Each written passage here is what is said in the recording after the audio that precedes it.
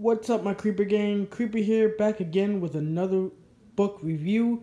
And today we're going to be reviewing Batman Three Jokers, written by Geoff Johns, art by Jason Fabok, and coloring by Brad Anderson. Now, before we get into this book, you guys, I want to just simply say if you guys didn't check my last video, I did uh, thanking Comic Time 101 please go check that out. The link for that video will be in the description below. Um, but yeah, let's get into this. This is the story of three different Jokers. Okay? Now, these three different Jokers are all tied with, you know, the, the three main heroes.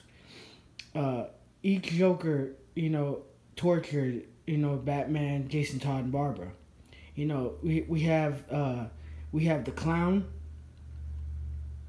we have the comedian, and then we have like the mob boss, you know, version of the Joker. And basically, how the story is is that the Batman has to find out which one is the one true Joker, who's the one running, you know, the other two, which one's the real one. And you know, basically, like these three Jokers all tie in with the story of like the Killing Joke Joker, uh, Death in the Family Joker. Um, the third one I'm, I'm not too familiar with, but all three of these Jokers tie in with the story and it's really it, the way that they did this it's really like a smart way of going for a joker story. They literally tied in all three joke main joker stories and wove it into one. And it's like now it has you questioning which one is the real main joker who's the true main joker. And i'm gonna just open this up you guys and we're gonna just get into this. I'm just gonna get into this real quick and I'm gonna just give you like a brief summary, a uh, brief summary of what I mean. You know, right here. Here we have, you know, Batman, you know, crashing into his parents' tombstone, and then he gets out the Batmobile. He's badly injured. And as you can see right here, him entering the Batcave and then him having to, you know, Alfred, Alfred basically assisting him, taking off his uh, bat suit and helping him with his wounds.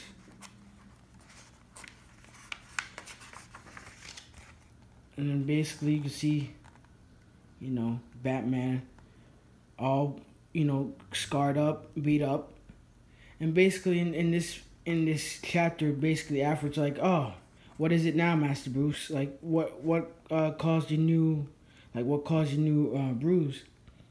Basically, his new bruise was caused by the penguin. And it basically shows like other bruises, like how did how did like uh, Bruce Wayne get all the other bruises? See, like you see the breaking of the back by Bane. You see the the question mark burnt by the Riddler. You see the scratch marks by Catwoman basically just a brief history of what the Batman has really been through. See here. The biting of Killer Croc. The stabbing of Scarecrow with his pitchfork. The shootings of the Joker. The acid sting of the Joker. You know, just and then more pain by the Joker and as I keep, re- you know, as you keep going along and reading this page, you you see that the Joker causes more damage than any of the uh, than any of the other villains that Batman's ever faced. See, all all basically ninety percent of Batman's damages is with the Joker. Basically, just giving you a brief history of what the Batman has truly been through, physically. And as you see right there, Alfred, you know, healing up his wounds.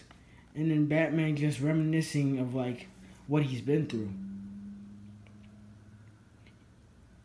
and then we get a we get a brief you know glimpse as as you as we all know in all Batman stories they always do this. They always go back to like how you know Batman became Batman, why he was the way that he was. You know, you know, parents walk out of the movie theater. You know, they're having a good time. Then they get shoot by some mugger. You know, then it kind of traumatizes young Bruce Wayne, and then you know, basically that's how he becomes the Batman. And we already know this story, guys. We've seen uh, Bruce's uh, origin story been told a thousand different ways, the same way. You know, it, it, at that point, it just kind of gets repetitive. I wish they would stop doing this. I wish they would stop like showing us like okay how Batman became Batman. We know how Batman became Batman. I mean, I know I get it. You're trying to like show new fans of how Batman, you know, how he was the way he was, but we already know. Trust me, we know we don't need to be to- retold the same story. But that's just one of that's just one of my gripes about this. You know, every time I read a Batman story, and they always go back to how you know Bruce Wayne becomes Batman. We already know. And then here you guys, you know, like I said, you know, him having flashbacks of what he went through as a child, him going through that pain. And then Fast forward, and then boom, we go to Barbara Gordon. And like I said, you guys, this ties in with, you know, the Killing Joke, uh, the Killing Joke story, the Death in the Family. Um, mind you guys, one of the two main Joker stories that's very popular, and it ties in with this book. And it and it basically shows all three Jokers how they tortured, you know, how each Joker tortured like you know Barbara, Jason Todd, Batman. And uh, it's funny because in this book, you know, Barbara and Jason literally have to like face their own demons. They literally have to like face their demons and they're they're kind of like in a conflict, you know, because they've been trained by Batman for for so many years about you know mental training about how you know not to kill your villain don't ever you know go in the deep end don't ever go down that dark path and they're and with this story it's like they're facing they're literally facing their demons and they're being tested and uh, you know some of them you know like barbara you know pass and like jason todd they don't necessarily pass that test. Because as we know, Jason Todd has been through way more than Barbara, Barbara has. Trust me, he, he's been through a lot. If you read The Death in the Family, you guys will know. And as you see, you see flashbacks of like what basically the Death in the Family Joker did to her. You know, it's because of this Joker that basically she couldn't she she couldn't walk anymore. Well, she was paralyzed for a little bit, and you know what he, just the sick stuff that he did to Barbara, you know, shot her up, made her paralyzed, um, took off her clothes and get, took pictures of her. This Joker did some some sick shit. If you read the comic, the killing, uh, the Killing Joke, and if you've seen the movie, trust me, it's it's some it's some pretty dark stuff in that comic book. I really suggest go reading that, you guys. It's some pretty like dark shit. But yeah, basically like a summary of what happened to Barbara with the Killing Joke version of the Joker.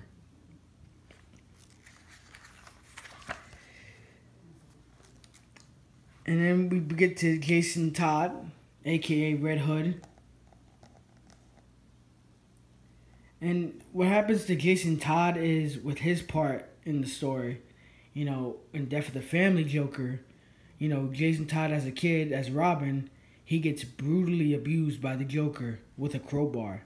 And he just get, get getting hit and battered and you got you guys gotta go check out that comic book too. It's eh. both those stories, The Killing Joke and Death in the Family, are like one of the brutalest Batman slash Joker stories I've ever read. And what happened to, you know, Jason Todd and, Bra- and Barbara is just, wow. They really went through a lot of shit. So you try some more